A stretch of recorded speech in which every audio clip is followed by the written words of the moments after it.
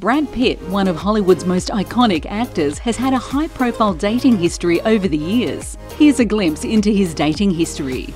Robin Givens. Brad Pitt's early dating history includes actress Robin Givens. They briefly dated in the late 1980s. Juliette Lewis.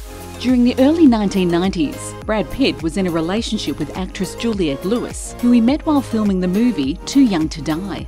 Gwyneth Paltrow.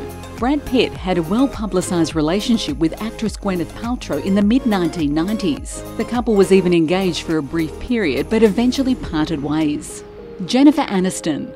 One of Brad Pitt's most famous relationships was with actress Jennifer Aniston. They were married from 2000 to 2005 and were considered one of Hollywood's power couples during their time together.